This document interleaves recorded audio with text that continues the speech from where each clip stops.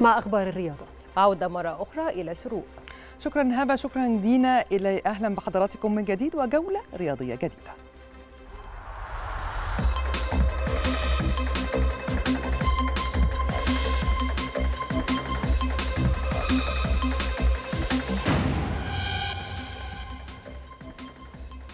خسر المنتخب الوطني الأول لكرة اليد للسيدات أمام نظيره الكونغولي بنتيجة 21 20 وذلك ضمن مباريات المجموعة الثانية لبطولة كأس الأمم الإفريقية للسيدات المقامة في السنغال.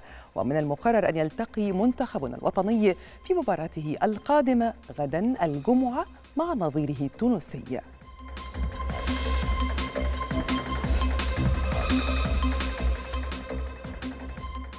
أعلن الجهاز الإداري للمنتخب الوطني الأول لكرة القدم انضمام محمود حسن تريزيجيه نجم فريق طرابزون سبور إلى معسكر المنتخب المقام حاليا بالقاهرة.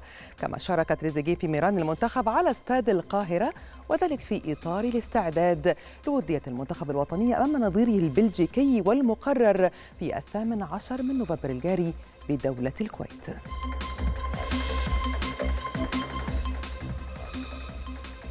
يواصل المنتخب الوطني للناشئين تدريباته استعدادا لمواجهة تونس الحاسمة المقرر لها غدا الجمعة في الجولة الثانية من بطولة شمال إفريقيا المؤهلة لكأس الأمم الإفريقية تحت 17 عاما من أجل إحياء فرصة في التأهل لبطولة كأس الأمم الإفريقية بعد خسارته في الجولة الأولى أمام نظيره الليبي بهدفين مقابل هدف واحد. وبات المنتخب الوطني للناشئين مطالبا بتحقيق الفوز أمام المنتخب التونسي ثم الفوز على المنتخب المغربي في المباراة الأخيرة في الرابع عشر من نوفمبر الجاري للحفاظ على فرص التأهل لنهائيات كأس الأمم الإفريقية. للناشئين.